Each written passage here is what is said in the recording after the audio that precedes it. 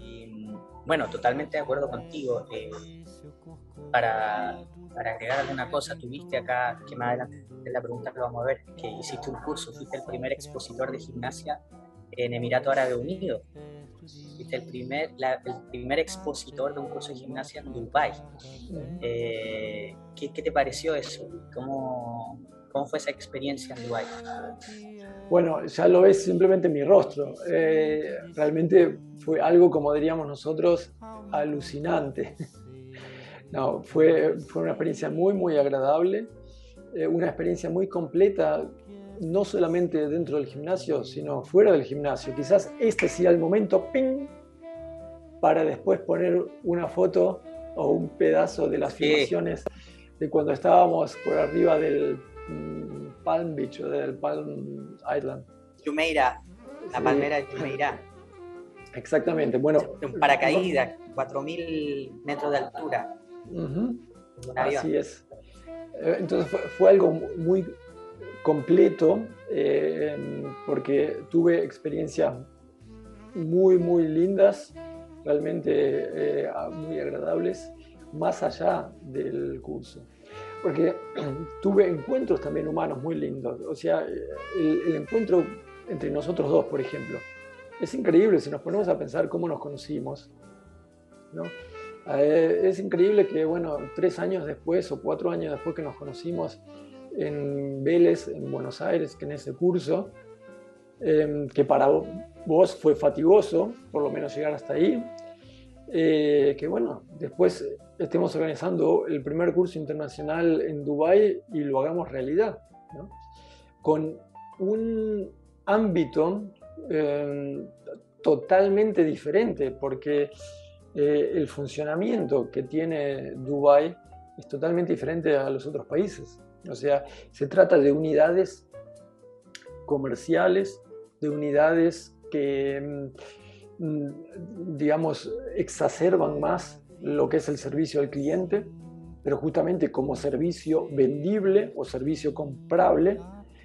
Y entonces eso cambia también un poco la forma de, articular este, em, este proceso. Y fue para mí muy interesante porque es la primera vez que hice algo así con una empresa que lo que hace es justamente vender servicios al, cliente pero bueno, eh, en realidad no nos podemos quejar de absolutamente nada. Estuvo genial, yo pasé una semana muy buena, estaba por decir una mala palabra.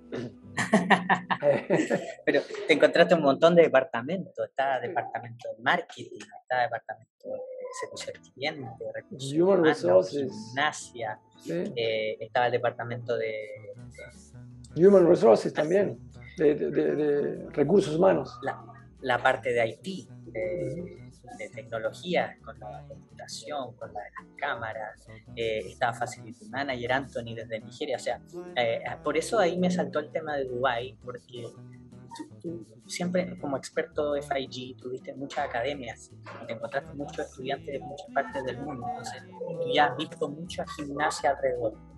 Pero cuando llegaste acá encontraste en el curso, en el LB21, encontraste un montón de entrenadores de Ucrania, de Reino Unido, de Colombia, de Nigeria, de Sudáfrica, o sea, encontraste un montón de entrenadores de todas partes y, justamente cuando te pregunté eso de qué es ser entrenador, se me viene a la mente, por ejemplo, que los entrenadores de Europa del Este nunca felicitan a su gente, nunca felicitan al deporte.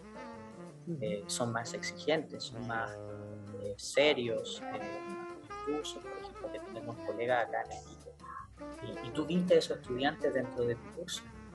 ¿Qué te pareció ver esa, esa multiculturalidad en el curso? Mm, em, ¿Te referís concretamente al curso que hicimos en Dubai? Bueno, como los entrenadores no tuvieron tanta oportunidad de interactuar como entrenadores, eran más, digamos, eh, espectadores que entrenadores antiguos, no sé realmente eh, si son así.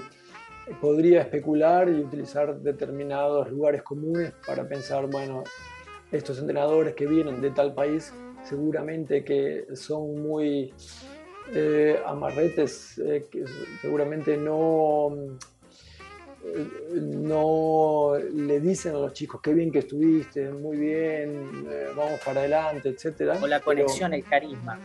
Sí, pero sería, digamos, un poco prejuicioso encasillar a los entrenadores por su nacionalidad en, en, ese sentido.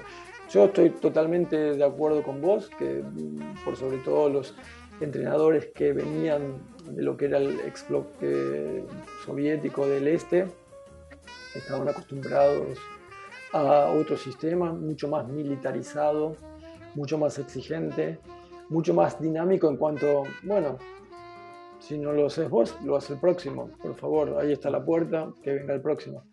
Eh, evidentemente, eso en nuestro mundo más abierto, occidental, eh, no, no se puede dar.